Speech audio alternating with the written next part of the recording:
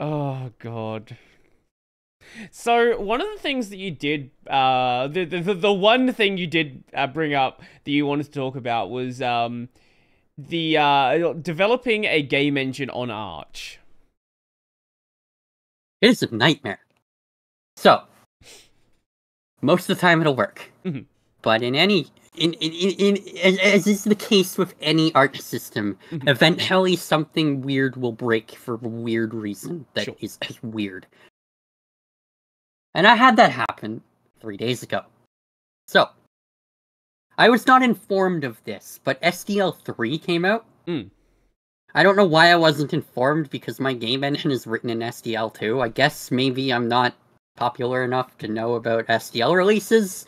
Um, so SDL3 comes out, Mhm. and you know, I'm thinking, great, it has all these new APIs I might actually use. Like, it has a dialogue API now. I think it's just a front end for ATK on Linux, but either way, I can go into SDL and say, hey, pop up an error message, which is a lot better than doing it in engine. Because if your engine crashes and you can't display the error message that tells the user why the engine crashes, Mhm, mhm.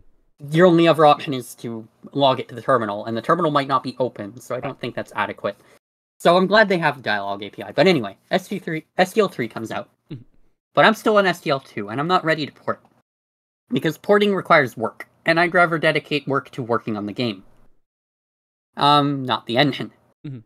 Especially the platform layer that really doesn't need to change because it works fine. Mhm, mhm. Now, last week, I started a massive documentation run because I want people to contribute to the game. I want people to know how to use the API. Um, so I'm going through it. I'm documenting everything. I got some freaking synthwave music going the whole time. Everything's going well, and uh, and every now and then I'm compiling the game, making sure I haven't broken something somehow because you know Games. somehow documentation can break things Yeah. sometimes for some reason. I don't know. But you know, um I'm doing that and everything's working fine. You know, some things have broken because I've been removing code. Um text labels in settings are now white instead of being green. I have to look into that. But that's subtle. That's fine. It's fine. Um and so um I get to Wednesday last week and I'm doing documentation and I do an art update. And I think this art update is fine. I don't think about it too much because Mhm. nothing really big is going on. I do see some SDL stuff, but I don't think about it. Because I'm thinking to myself, okay, this SDL2 package is getting replaced with SDL2 compat. That's fine. SDL3 came out. There's probably some legacy package Mhm. rename going on there. It's fine. Um, and I keep working. And then Thursday happens, and I get a massive cluster headache. So, I put the source code down Wednesday night. I go to bed. I have my cluster headache. And then I come back on Friday, and I boot the game, and I'm checking, and I try to hover over things in the Mhm. UI. And it ain't doing it. Mhm. You know, usually when you hover over something in socially distant, there's a tooltip now. It tells you what the icons are because accessibility is important. Sure. Those tooltips were not coming up. And I thought, okay, Mhm. maybe the game hang uh, tabbed over to the IDE. No, everything's fine. Game's still running, still pumping messages. It's fine. And so I tried clicking on things, and you know, and no, not working. okay, so I tried going into system settings because maybe my frame rate is just really low. No, I couldn't get into system settings. Couldn't click it. Okay, so I hit one of the ImGui debug layers to check my frame rate. So I hit F4 and it comes up and it tells me I'm running solid 60 FPS VSync on because I'm on Wayland. And great, it's fine.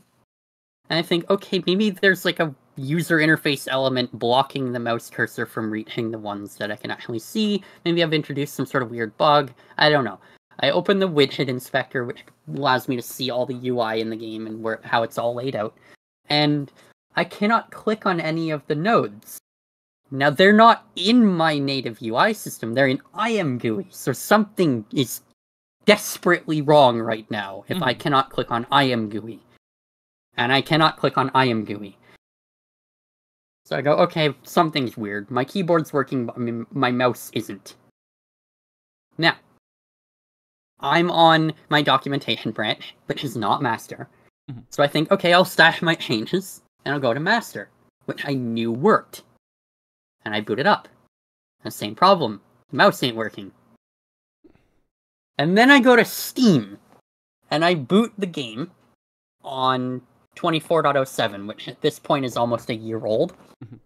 And it works. Mhm. And then I go to Steam and I boot the uh, master, um, the the Git beta for the master branch. Mhm. Now you know why I didn't say the words in order. Um, so um, I boot that version of the game, which is the same build that wasn't working earlier with the mouse, and I boot it and it works fine. So exact same build of the game working fine under Steam, not working fine under a debugger. What's going on? Mm-hmm. So then I look, and I look into system settings, and I think, okay, maybe Steam's running the game in X11 mode. No, I don't even see a Wayland toggle, which implies that maybe it's not running under Linux. So I open the in-game terminal, type neofetch, check the host string, which tells me what operating system the game is running on. Neofetch in-game is actually a debugging tool for me, so if I ever get a bug report, I'm going to ask for Neofetch output. yes, I'm serious. Um, so I look at that and it says Steam runtime version whatever, whatever, whatever x64. and I'm like, that's not helpful. I want to know what operating system it thinks it's running on, not that it's running under Steam. So I exit the game and I right click on it because I'm thinking maybe it's running under Proton and that's why it's working. Mhm. Because there are Windows builds. And I remembered a year ago I did set the game to purposefully run on Proton back before I had Linux working. Mhm. Um, and I looked. No, it wasn't running under under Proton. I actually turned on the little toggle to force it to run under a specific runtime, and it was the Steam runtime. Mhm. But I noticed there was an option, Legacy runtime, and I'm thinking, ooh, what if I run it under that? Okay. Um, and this is how I found out that Steam vendors SDL2 in the Steam runtime. yep. So, I booted the same build of the game under Legacy runtime, and the mouse stopped working. Mm-hmm. So this tells me there is some package difference between my Arch system and Steam. And like I said, Steam vendors SDL2.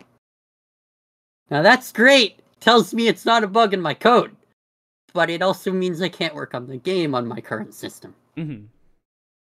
So, I write a debug tool at this point to figure out what's going on with the mouse. And I add it to the IM GUI layers, which I know I can access. And I hit F4 to bring it up. And I'm moving the mouse around. And there's a little indicator saying where it thinks the mouse is. And it keeps thinking it's at location 00, which is the top left of the screen. Mhm. No matter where I put it. And actually took a screenshot of the mouse cursor, like way near the bottom of the window. Mhm. Or of the visible zoom area of my screen and then the little mouse indicator thing saying it's at top left of the screen when it's clearly not because you can see where the cursor is. Mhm. So basically what happened is Arch maintainers they swapped the SDL package out with SDL2 compat, which is an official SDL library, and what it does is it's SDL2 but under the hood SDL3. Uh-huh. So, you know, if there's any bug fixes in SDL3, you get those bug fixes. However, the game will still think it's SDL2, so it'll work. Mhm. Except it's not actually SDL2, it's pretending to be SDL2 in terms of API and ABI, but it is decidedly not SDL2 because it broke mouse position pulling, and that is a feature of SDL2 that I use. So I'm gonna have to file a bug report for that, which requires logging into GitHub, which I don't want to do, but maybe that'll give me a reason to finally fix 2FA on it. Mhm. Um, but you know, I'll have to re- I'll have to point a bug to fix that and get it fixed for other games that maybe have that same issue because I doubt that I'm the only one. Mhm. Um, and so that's great. But what I ended up needing to do is if you go on the Arch wiki, Mhm. the SDL2 wiki article for it tells you that if you still need SDL2, you are recommended to install SDL2 compat, and it'll do it automatically if you have SDL2 installed. Mhm. Um, the repo- uh, the package got renamed, and anything that requires SDL2 will require will see SDL2 compat as SDL2, and it'll work. Mhm.